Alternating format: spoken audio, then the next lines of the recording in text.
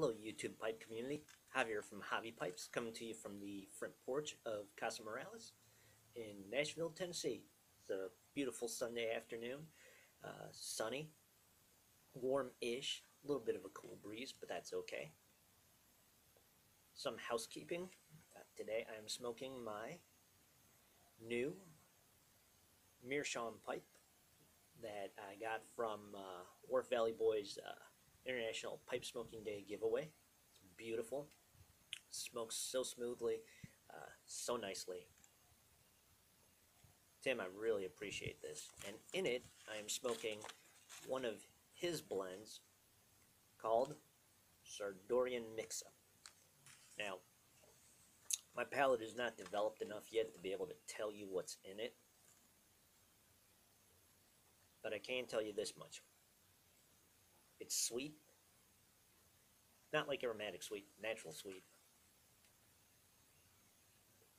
Very pleasant.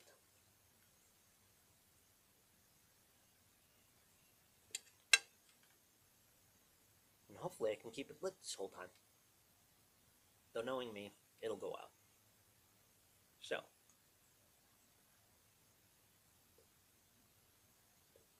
couple things I wanted to go through today. The timing of this pipe could not have been more perfect. Uh, March Meerschaum Madness, day four. And I did a video on Yabo for this yesterday. And in it I said I was having a sad moment because I'd seen a crack develop uh, on my other Meerschaum pipe.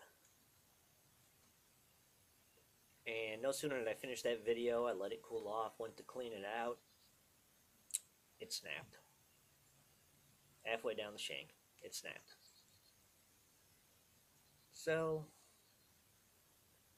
I don't exactly know what I'm going to do with it. Um, I'm going to see if it's even remotely fixable. I think there's enough of the shank left that if I could get a new insert and drill it in there properly, I might still be able to smoke it. But that's going to be a long shot.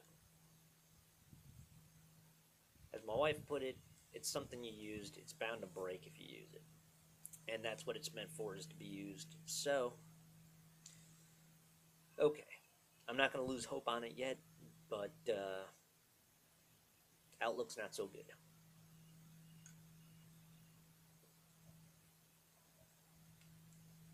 The other reason for my video today is I wanted to do a VR to Briar Brandon. Briar Brandon, who, uh, uh, after some time away due to some family reasons, um, said in his absence he, he actually hit 100 subs, and I thought that was really cool. Um, I like his channel. Um, I'm glad to hear his niece is doing better.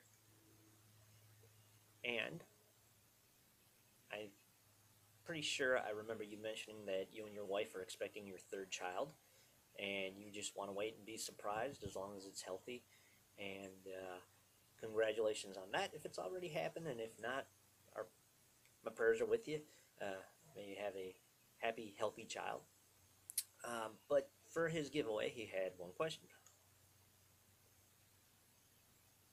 Talk about a time you were surprised. Now,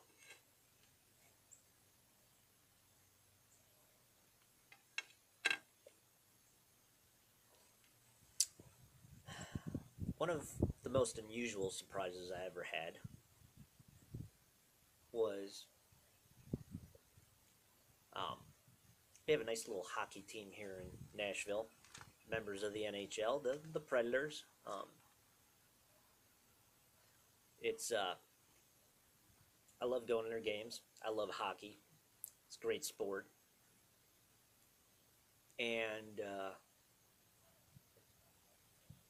I grew up in Chicago, so sorry to all you that hate them, but I'm a lifelong Blackhawks fan. Don't hold it against me.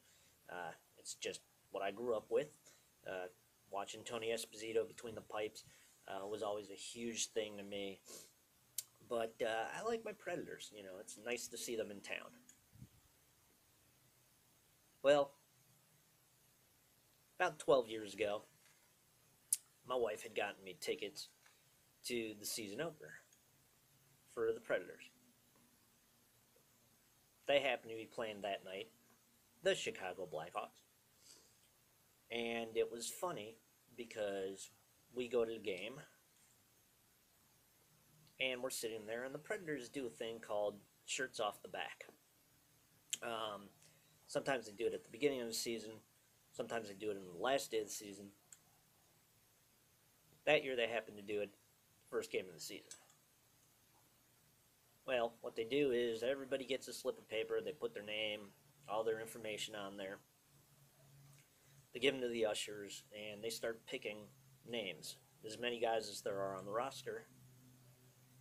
And after the game, you get to go down on the ice, and you have an envelope with a name in it, and they go in order that the names were selected. And whatever uh, jersey numbers inside that envelope, that's whose that's whose jersey you get straight off their back. Now the neat thing about it was they didn't go into the dressing room after the game. They actually just hung out on the ice uh, for this.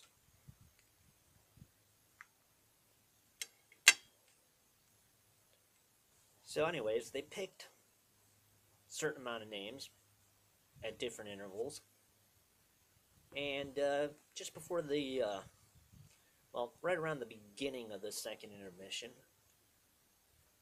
they said we're showing the last set of names.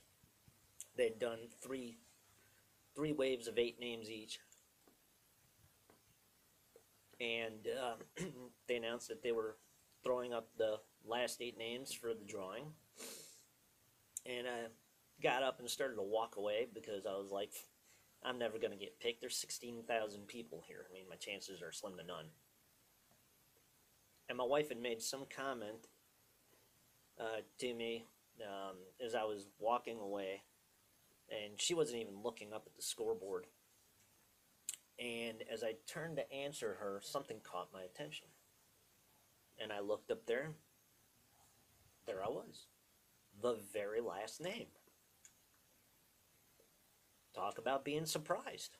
They said, you got to come to this table at this section of the stadium by this time, or you lose your spot. Okay. Whatever it is she wanted, I couldn't tell you to this day. I was looked up there and said, that, that looks like my name. And I said that, and she looked up and she said, uh, That's because that is your name. So I was like, Okay. Ran over to my corner of the stadium I needed to go to, and they said, With 10 minutes left in the game, come on down. So that was a huge surprise, but it didn't end with just that.